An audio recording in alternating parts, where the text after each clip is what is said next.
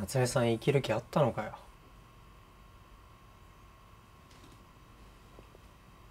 自殺だったの？多分。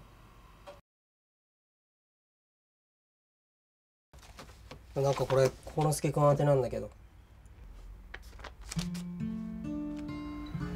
母は私が生まれた時に亡くなりました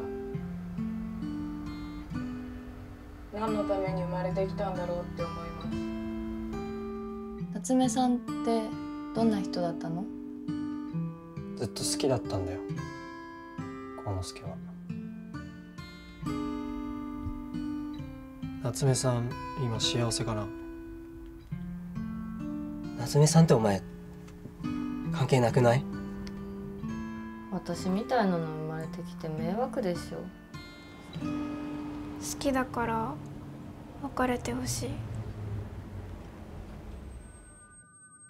二度と会えないなんて思ってなかった。そばにいるから分かんないってさ。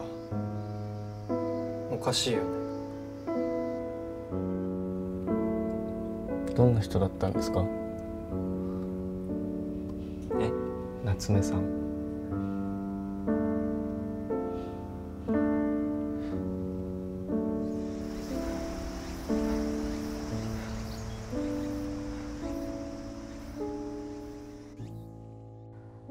かくなればそれ。これは美桜ちゃんがいた東京には入れなかった。代わりなんていないんだよ。